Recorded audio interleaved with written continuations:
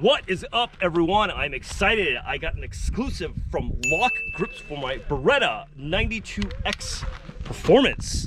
These are the wraparound conversion grips that they're working on. These are not available to the public yet. I'm helping them product test, giving them feedback for what I would like to see on these as well as changed.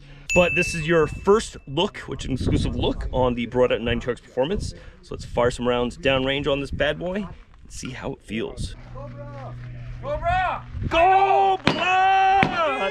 You guys are gonna make the video! You're making the video! They're making the video! And Odie! Alright, going hot! Cobra ready time!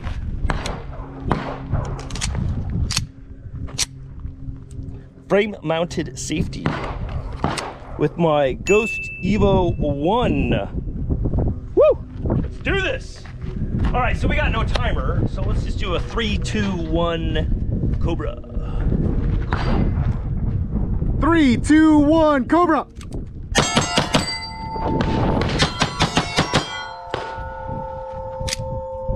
Woo! That feels really good. It actually, this hump makes it more natural of a draw because the Vertex style 1911 style grips that come from the factory don't have the right angle for me because I've been shooting Berettas for years and this gives it more of a natural feel. They still got to work on some small things and make the pumps a little bit better, but a huge, huge improvement over the factory grips. So I'm excited to see what's to come from Lok Grips. Once again, an exclusive on the 92X Performance Conversion Wraparounds Cobra. All right, I got my buddy Anthony here. His IG is Make Ready PT. PT if you want to follow him on Instagram. And we are Beretta Bros. He actually found me on YouTube years ago.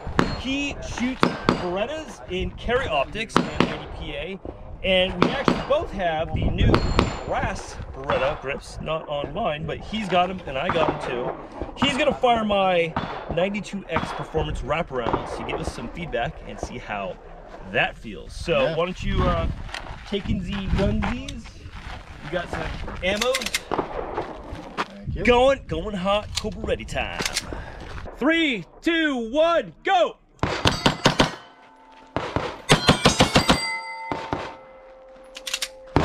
Range is clear, Makes a difference. right?